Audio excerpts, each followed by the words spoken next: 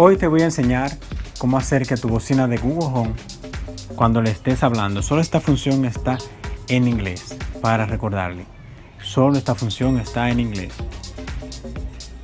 Pero te voy a enseñar hoy cómo activar esa función.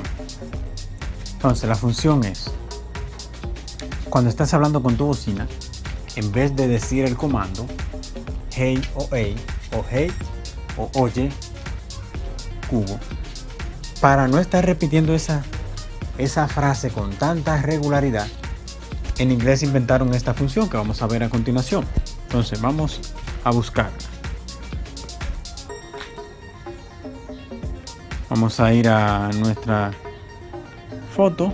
Vamos a ir donde dice Assistant y luego dice que continúe la conversación.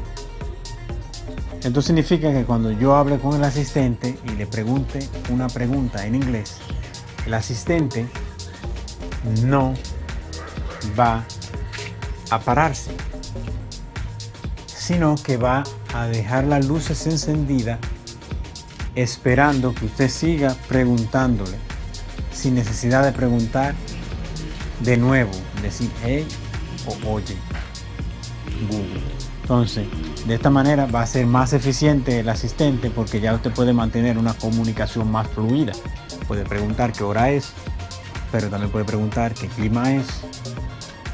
Y puede preguntar quién es presidente de tal país. Y puede preguntar que cómo está el clima en tal país sin necesidad de, de pronunciar la frase. Simplemente es hacer esto. Activarlo. Simplemente el asistente en el idioma inglés no se va a detener.